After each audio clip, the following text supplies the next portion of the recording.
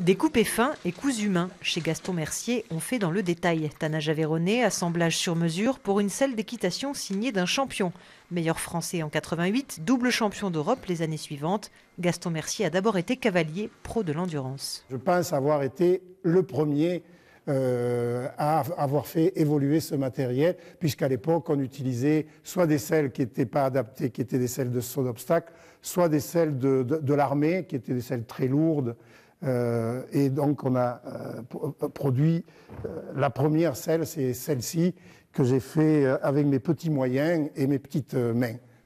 Désormais, chez Mercier et Fils, c'est 450 selles fabriquées chaque année, du matériel adapté à la longue randonnée, inspiré d'ailleurs, peuple mongol ou cow-boy d'Amérique. Pour rééquilibrer tout ça, il a reculé de 10 cm environ la, la position du cavalier pour euh, le confort euh, personnel du cavalier et pour le confort du cheval. Donc c'est le, principe général qu'on a appliqué à suite sur euh, une douzaine de modèles de selles qui ont évolué avec le temps.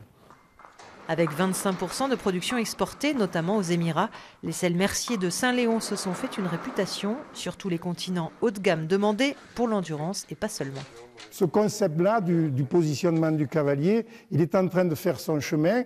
Il met du temps, mais il fait son chemin puisque Aujourd'hui, on a euh, scellé un cavalier du cadre noir de Saumur pour uniquement le dressage. Donc, si vous voulez, ça, conforte complètement notre idée de, ce positionnement du, cavalier.